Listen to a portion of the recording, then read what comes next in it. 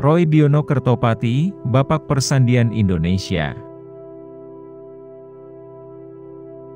Dokter yang memimpin lembaga sandi negara selama lebih dari separuh hidupnya. Tipe pekerja yang tidak suka bermain politik. Sebelumnya ia merupakan seorang dokter di Kementerian Pertahanan RI anggota B, Intelijen. Pada tanggal 4 April 1946, Dr. Roy Biono Kertopati dengan pangkat Letkol. Mendapat perintah dari Amir Syarifuddin, Menteri Pertahanan RI ketika itu, bagi membangun sebuah badan yang mengelola persandian nasional. Roy Biono tidak mengenyam pendidikan persandian secara formal, namun hanya berupa kursus singkat pengenalan sandi dari Kementerian Luar Negeri Belanda pada tahun 1949. Namun melintasi bacaan serta imajinasi, logika dan intuisi, diciptakanlah sistem-sistem sandi sendiri. Walaupun tanpa ilmu-ilmu yang memadai mengenai teknis kriptografi dan hanya dibantu oleh tenaga-tenaga yang juga awam sandi. Sistem-sistem sandi hasil pekerjaan sendiri tersebut terbukti efektif dan dapat diandalkan bagi mengamankan komunikasi berita di medan peperangan. Di dalam perundingan-perundingan selang pemerintah RI dengan Belanda dan dengan PBB, pada komunikasi pemberitaan di perbatasan dan di dalam gerilya di daerah dan pedalaman.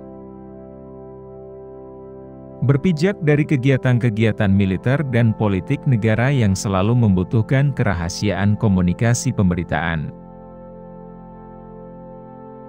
Sebagai perintis dan pendiri persandian di Indonesia, Bapak dari empat anak ini sudah mempunyai pemikiran dan konsep yang jelas tentang kedudukan suatu badan persandian dalam susunan pemerintahan negara. Hanya berbekal daya nalar dan dilandasi semangat juang yang pantang menyerah itulah, Bapak Roy Biono dan kawan-kawannya merintis persandian di Indonesia. Seiring dengan waktu, persandian di Indonesia terus mengembang mengikuti perkembangan teknologi yang dipergunakan. Bermula dari hanya sebuah ruangan kecil tempat cara sandi berlangsung dan alat yang digunakan pun sedang berupa pensil dan kertas. Kini sudah dijadikan sebuah institusi mandiri dengan peralatan yang jauh lebih kompleks.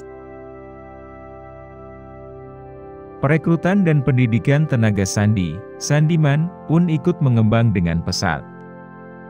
Dari hanya sebuah kursus singkat, seperti magang, dijadikan setingkat akademi, bahkan kini sudah dijadikan sekolah tinggi. Maijen TNI, Purnawirawan, Dr. Roy Biono Kertopati yang menguasai dengan aktif empat bahasa asing yakni Inggris, Jerman, Belanda, dan Perancis ini memimpin persandian Indonesia. Dari tanggal 4 April 1946 yang sedang berupa sebuah kamar sandi hingga dengan tahun 1984 yang sudah bernama Lembaga Sandi Negara. Pada tanggal 23 Juni 1984 sang penerima 11 bintang afal yang berguna, utama, dari pemerintah Indonesia ini wafat. Hingga kesudahan hayatnya ia tetap berjuang bagi memajukan persandian di Indonesia, suatu anggota perjuangan yang sedang langka dan merupakan cara yang tidak dikenal. Moto yang selalu didengungkan kepada seluruh anak buahnya yang memainkan pekerjaan sebagai tenaga sandi merupakan berani tidak dikenal. Almarhum Mayor Jenderal Purnawirawan Dr. Roy Biono Kertopati dinobatkan sebagai Bapak Persandian Negara Republik Indonesia.